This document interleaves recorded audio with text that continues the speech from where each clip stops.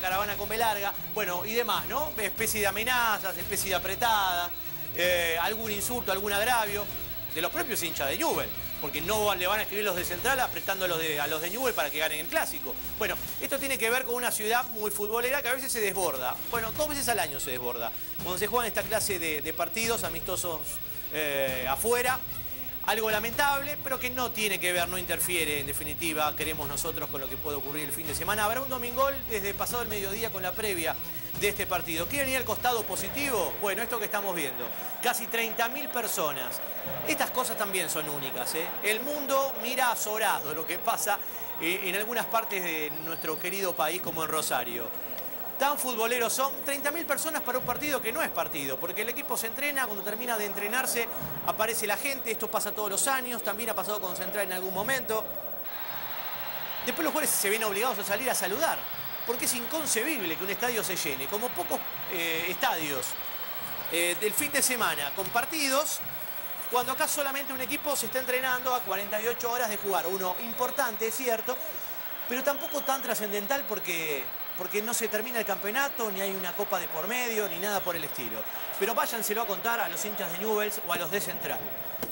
Otra vez un banderazo en apoyo a este equipo que arrancó bien con Bernardi en su llegada como entrenador, que viene un empate 0 a 0, igual que Central, que podría tener, en cuanto al equipo, cinco cambios. Cinco. Lo que sabemos es que Villalba está suspendido.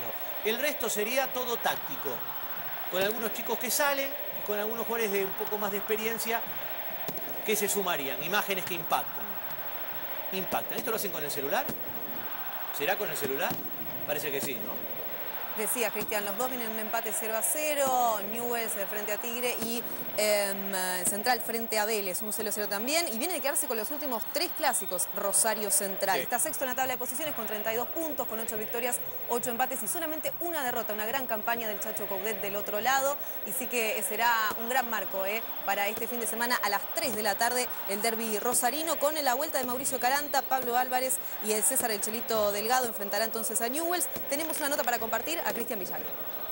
Creo que el clásico es esa parte, creo que no, influye cómo llega cada uno, es un partido aparte y bueno, creo que el que hace mejor las cosas va, a ganar. Yo creo que, es importante ganar este partido por lo que significa el clásico y obvio que es por, también por achicar puntos con lo de arriba. ¿no? ¿Extrañabas esta sensación, esta adrenalina eh, de, volver a jugar un clásico? Digamos, ¿Es lo primero que pensaste cuando decidiste tu, tu vuelta central? Sí, sí, creo que que era uno de los partidos que estaba, estaba esperando por, por, lo, que significa y cómo lo vive, cómo se vive acá en Rosario. Así que, que nada, eh, espero disfrutarlo y bueno, y obviamente ganarlo. Bueno, ojalá, ojalá el, contorno esté eh, de acuerdo con lo que pase dentro del campo de juego el, próximo domingo. Es el clásico con más empates, es el clásico con más 0 a 0. Es un clásico en donde se mete mucho en los últimos tiempos, se juega poco y, todo el tiempo está, está dando vuelta, está rondando el tema de, los episodios de violencia. Sí, sí, en el último, sin, ir más lejos, por ejemplo. Eh, ya cuestiones que sucedieron alrededor en las inmediaciones del estadio. Esperemos que no suceda lo mismo, seguramente va a haber un, importante operativo de 750 efectivos, un poco más, afectados a, este partido que, insisto, eh, estará a través de Domingol por, por Sport. Y en un rato un poco más del clásico con Andrés Burgo que nos va, a estar visitando y nos va a traer algo bastante particular. Hace un tiempito que lo está preparando.